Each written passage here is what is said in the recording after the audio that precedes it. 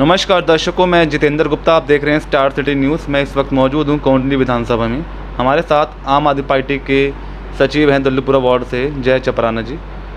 Sir स्वागत है आपका जय चपराना जी। मेरा पहला सवाल आपसे है कि आपका जो राजनीतिक में आने का जो मुख्य उद्देश्य है आम आदमी पार्टी में कैसे और कितने वर्षों से जुड़ा हुआ आपका? ये मैं तीन चार सालों से पार्टी से जुड़ा हुआ हूँ यहाँ पे।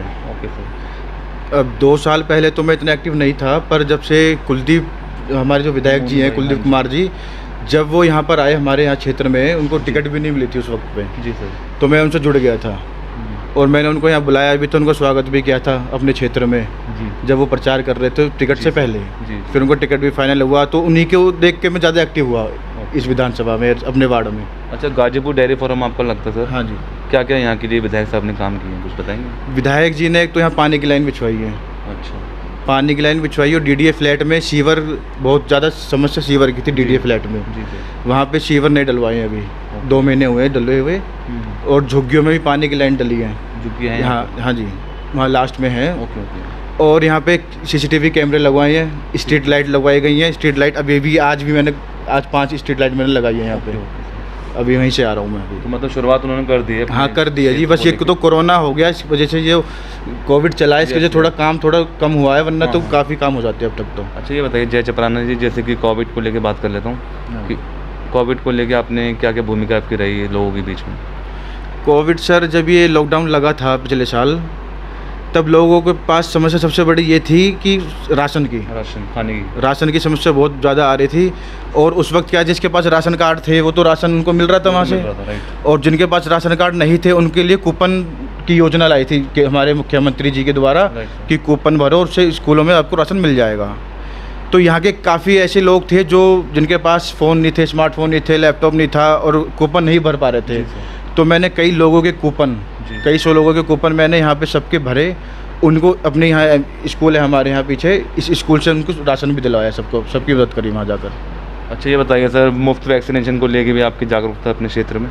हाँ जी मुफ़्त वैक्सीनेशन का भी हम पूरे डेयरी फार्म में पूरे अपने वार्ड में ये हम लोगों के घर जा रहे हैं।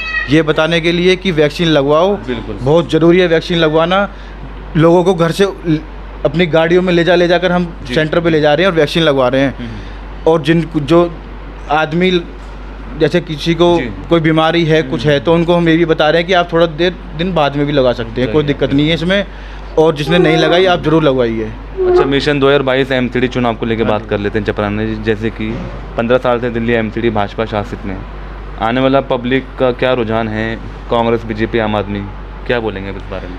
सर इसमें 2022 तो मैं आप अपनी नज़र से देख रहा हूँ तो साफ़ साफ़ आम आदमी पार्टी इसमें आ रही है सत्ता क्यों लग रहा है आपको? सर क्योंकि पब्लिक इतनी परेशान हो चुकी है ना बीजेपी से। हर किसी की ज़ुबान पे यही एक शब्द आके निकलता है जब भी कोई मिलता है कि यार ये बहुत हो चुका अब। अच्छा।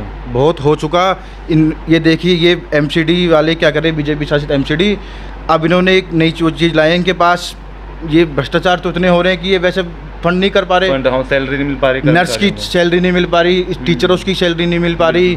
और इतने हमारे स्टाफ है सरकारी उनको पैसे नहीं मिल पा रहे। सफ़ाई कर्मचारियों को पैसे नहीं मिल पा रहा इसमें। ठीक है? और ये क्या कर रहे हैं स्कूलों में पार्कों में जहाँ आदमी घूमने जाता है अपने स्वास्थ्य की ठीक करने के लिए जाता है वहाँ पे इन्होंने अभी एक योजना लाई थी ये कि वहाँ टावर लगाए जाएँगे। टावर अच्छा। हाँ जी। हमारे यहाँ गाजीपुर डीडी फ्लैट में एक पार्क है उसमें भी ये आए थे। तो मुझे जैसे जब ये पता चला मैं वहाँ पे गया।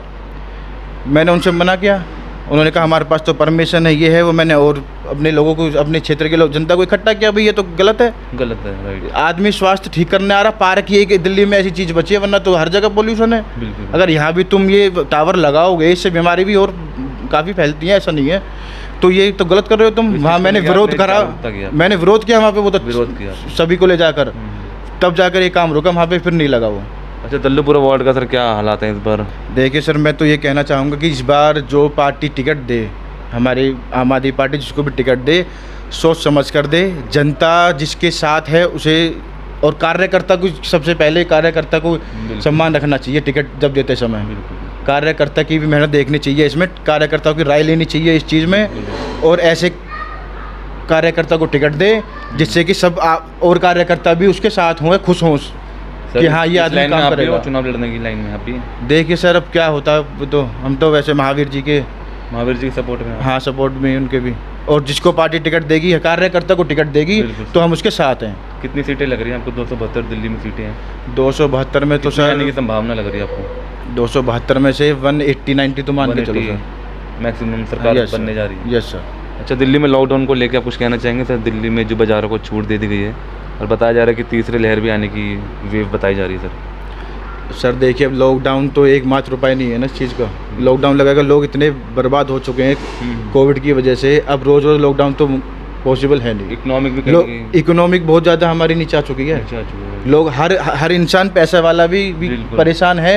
मिडिल क्लास फैमिली परेशान है गरीब भी परेशान है इसमें। फ़र्क हर किसी को पड़ा है। ऐसा नहीं है कि किसी को फ़र्क नहीं पड़ा। तो जागरूकता जागरूकता ये है कि लोगों को अपने आप ही थोड़ी वो करनी पड़ेगी। हम्म, मास्क लगाए जब भी आदमी बाहर जाए बिल्कुल और थोड़ा डिस्टेंस मेंटेन करे जब भी बाहर जाए और ये सब आदमी को खुद अपने प्रिकॉशंस लेने पड़ेंगे वरना तो अगर बार बार ये लॉकडाउन लगेगा तो तो देश भी और इंसान भी सर हर घर परिवार सब बर्बाद हो जाएगा। धन्यवाद आपका जय चपराना जी। तो ये हमारी सीधी बात जय चपराना जी से स्टार सिटी के साथ मैं जितेंद्र गुप्ता